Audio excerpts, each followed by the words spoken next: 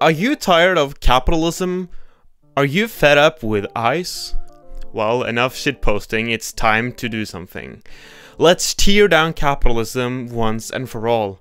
I hold you accountable, and in the following video series, I assume you're alone in your task.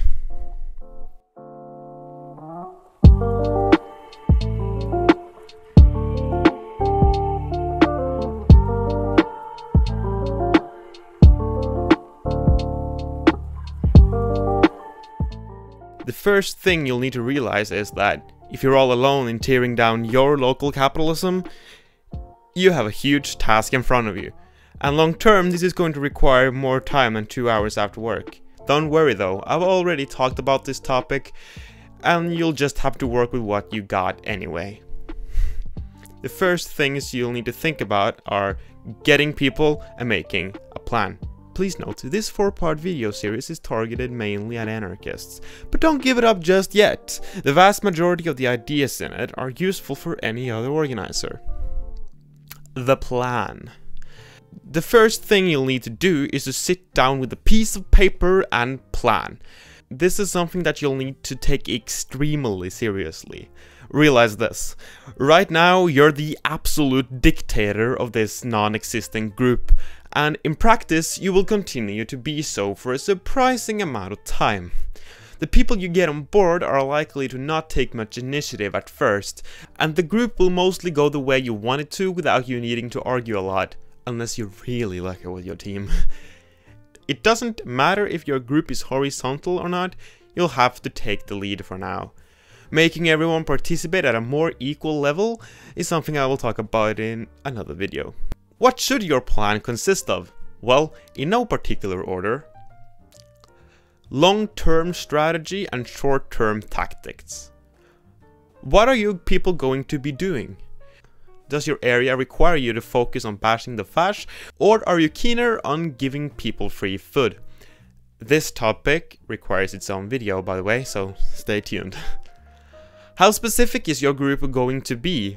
This is largely going to depend on any long-term goals that you have. If you're aiming to create an affinity group doing something specific, like resisting a stupid policy, then it might make sense to allow almost everyone in.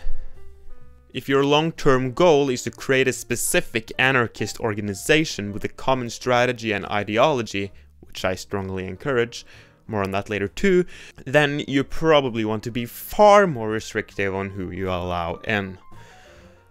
How are you going to organize? Is your group going to be a specific group that allows an informal style of organization? Or do you aspire to become an organization that is active in a larger area? If so, you might want to sketch a constitution for a formal organization. More on that in a video I'll make very soon. Also, if this is your level of ambition, I encourage you to not necessarily feel limited by your national borders. For us crazy revolutionaries, that might not necessarily make sense. How are you going to recruit? Don't just settle with the first place that comes to mind. There are many reasons to be tactical here. If you work at a construction site, odds are that your workplace is dominated by men. So if you recruit in your workplace, then your group is going to be dominated by men. This is not just a thing to keep in mind, this should be at the top of your priority list. Acquiring gender and race balance in the organization is never going to be easier than it is now. One person might flip the gender and race balance to a 50-50. Do not neglect this, especially if you're a man. When your group consists of 10 white men, which is likely if you neglect this, you must recruit 10 women to acquire a 50-50 balance. Oh, now that we're talking about recruitment. Posters, stickers, graffiti, a guide. Wheat pasted posters are in my experience the best way to clearly state that this area is an area with anarchist presence, so I would for sure get experience with this fast. Also, it is both really easy and really cheap to both make the wheat paste and a typical cliche red and black poster in GIMP. I'm not going to help you with designing the poster, there's lots of guides anyway, but I will put a wheat paste recipe here because it's so damn easy. All you need is 4 cups of water and 1 cup of wheat flour and 2 tablespoons of sugar, which you prepare in the following way. Boil 3 cups of the water in a pot. Take the remaining cup of water and mix it with the cup of flour. Now, pour this lovely mixture in the boiling pot, turn off the heat, mix it around, put the sugar in it, mix it some more. If it's cold outside, which it unfortunately is here because I live in fucking Norway, you also want to add some salt. Why salt? I, I read it on a forum once and it's a habit now, okay? Now that the paste is cold, just put it in something, drag along a brush on your posters, which should preferably be A3, take some paste on the brush, apply to the victim wall, apply the poster to the paste, and add more paste on top. The recipe is enough for around 10 A3 posters if I remember correctly. If I'm wrong and someone tries it, put it in the comments. Okay, sorry, I just can't help it but to tell you what to do on the poster. Here are my requirements. 1. Use a lot of colors. 2. Don't use too much text, please.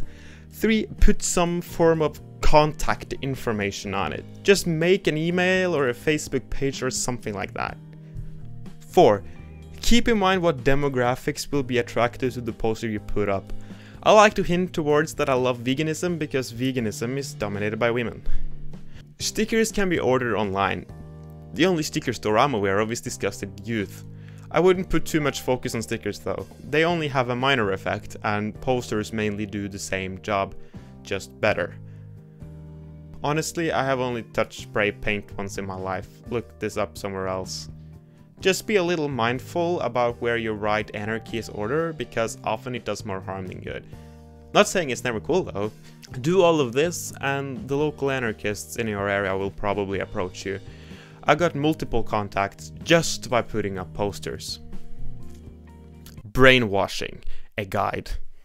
For years, I've told my friends to read The Conquest of Bread repeatedly. When that didn't work, I started telling them to read Anarchy by Enrico Malatesta, because it's significantly shorter and more accessible in language. Newsflash, they didn't read that either. I'm not telling you to give that up completely, like, I have worked with the attention span of other Zoomers, but on a general basis, I don't think this is a good way of getting people on board with the idea of tearing down the state. What should you do then?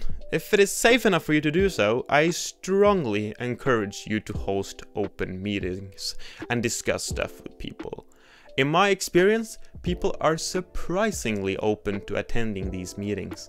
While the entire premise of this video is that there are not cool anarchist groups around, there might be some organizations that are fairly open to the ideas. Keep in mind demographics and then go for someone whose values are good in some way. Traditional targets like radical social democrats or democratic socialists are of course good targets, but don't underestimate people that are a little alternative in a non-leftist way like vegans, minimalists, and climate activists, etc. There's a significant overlap between us, since, you know, it's not the working class that funds climate denialism research, tries to make us believe bacon is environmentally friendly, and of course, healthy. Like, holy shit, look at this fucking study. It's so dumb. Bacon is better for the environment because uh, CO2 emissions per calorie is higher in lettuce. Like, what do these people think vegans eat? Be mindful of demographics when it comes to topics as well. My experience is best with discussing something concrete. For a short period, I hosted open meetings regularly, and the meetings that was by far the most successful was the one about direct action. Essentially what we did was to hypothetically plan to occupy our school to force our politicians to not bid X. People seemed very open to the ideas after that meeting, and some of them actually read what I recommended afterwards. Also, remember that people won't become convinced in the room. Your goal is to plant seeds that can grow into them going crazy just like us. Try to remember when you became radicalized. It didn't happen in a night, did it? First, someone exposed you to the idea that capitalism sucks. Then you read into that and you went, well, that makes sense. And then you wondered, uh, what can you do about it? And then your local equivalent to Bernie Sanders or Democratic Socialists of America started interesting you. And then you realized that the state wasn't exactly the working class best friend. And then it was done. Well, be patient. Just stay in touch with people, tactically. First you convince them that capitalism sucks, then you convince them that unions are awesome, and then you tell them that unions might actually take over the world. You can do it. If it's hard to get people to show up, experiment with topics. Everything from workshops about veganism to long historical lessons about anti-fascism can be used to get contacts. The topic you're thinking of probably works.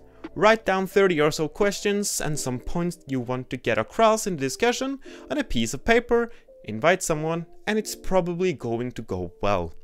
And if it doesn't, hey, now you got yourself some organizational experience. That will not hurt in the long run, will it? If you put posters, make a social media presence, and host open meetings, I'm sure you'll get two or three contacts that want to work with you within a few months. Then, it's nice that you've prepared some strategy. Oh wait, that's the topic of the next video, isn't it? Social media. Having a social media presence might not be the worst idea. You can for sure reach a lot of people this way. Personally, I have not used social media in this way before, but I can imagine that having a Facebook page, something like Your Place Anarchist, and update that once in a while will at least make it easy for locally interested people to contact you. But just please don't pretend that you're a large organization when it's really only your Facebook page. That's cringy. I know one who does this. Oh, it's painful. Safety. Be mindful of the fact that neo-Nazis exist, please how much you'll need to do with regards to safety is going to vary a lot depending on where you live. Some places it might be necessary to go completely underground as anarchist activity might be illegal, other places it won't be necessary to do much at all. Since I'm one of the lucky ones that don't need to do much in this regard, combined with the fact that this varies so much between places, I won't talk about it now. But I'll mention one thing. Infiltration is a very real thing, and a healthy level of skepticism can save you from some problems. Sometimes journalists are really just police informants, and if a person seems weird, they might be an infiltrating fascist. Of course, this is normally not the case, but I would meet people and talk with them to reduce the risks. Which brings me to the last thing I want to talk about today, evaluating people. It's a good idea to sit down and decide what your requirements for working with people are. If you have an idea about this, it will be much easier to avoid people that will contribute mainly in a negative way.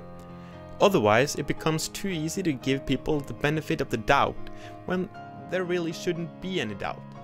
One way of doing this could be to make a form with criteria and have a conversation with the interested person that involves the topics. Just don't bring the form and take lots of notes unless you have a good reason to do so. That's uncomfortable. This may at first sound like a little much, but remember, some people can really cause problems. This could be due to strategic disagreements or it could be due to inactivity. It's not the worst thing to increase the threshold a little bit to become active, depending on what kind of activity you're interested in having. Often the quality of the members is much more important than the quantity. If you liked this video, it will help a lot if you liked the video and subscribe to my channel. Thanks.